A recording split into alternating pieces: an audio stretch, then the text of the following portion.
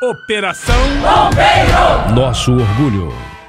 A primeira corporação de bombeiros no Brasil foi criada no Rio de Janeiro por meio de um decreto assinado pelo atual patrono da instituição, o imperador Dom Pedro II. Foi em 2 de julho de 1856. Era o corpo provisório de bombeiros da corte. Naquela época, quando acontecia um incêndio, o alerta era dado pelos sinos das igrejas.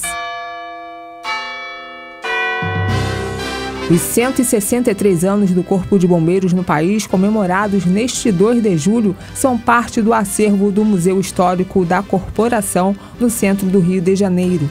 Diretor da instituição, subtenente J. Félix, conta o que está à disposição do visitante. Aqui os visitantes eles podem conhecer a história da nossa corporação, que é contada desde os seus primórdios. O visitante ele consegue ver a evolução das viaturas, a evolução das comunicações, as formas de se acionar o corpo de bombeiros e os toques de sinos das igrejas.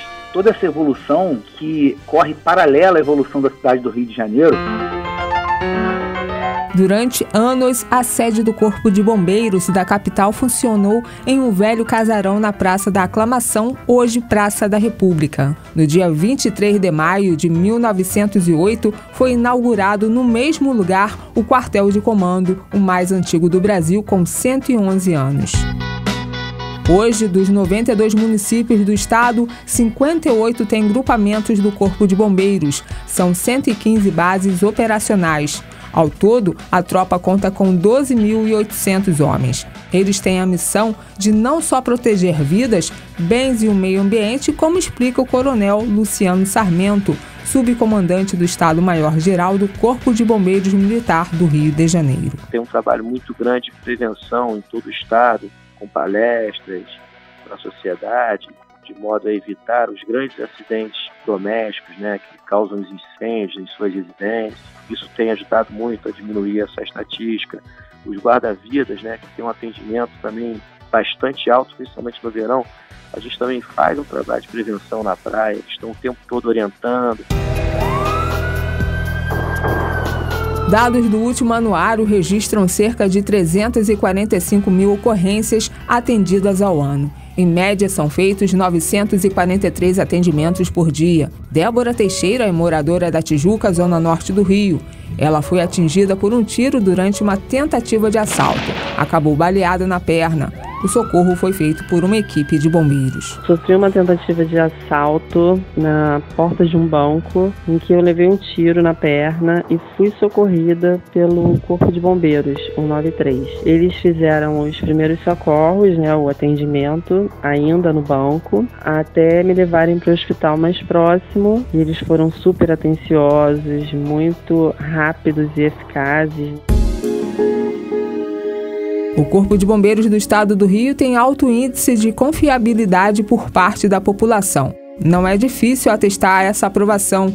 Agenor Duarte, morador de Manguinhos, reconhece o trabalho da tropa. Eu acredito que o serviço do Corpo de Bombeiros é extremamente é, essencial para a população. Kelly Cristine é outra carioca que elogia a atuação dos militares. O último episódio que nós pudemos ver foi em Muzema. A gente pôde acompanhar pelas redes sociais e pelas mídias, foi um trabalho de excelência.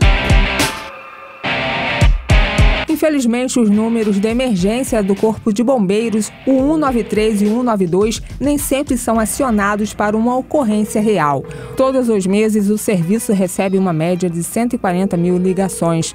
Boa parte é trote que prejudica o atendimento de quem realmente precisa, como explica o Coronel Roberto Robadei, secretário de Estado de Defesa Civil e comandante-geral do Corpo de Bombeiros Militar do Rio de Janeiro. Mais da metade dos telefonemas feitos para o 193 são de trotes e até mesmo de agradecimentos, mas que ocupam uma linha que é fundamental para o socorro da população.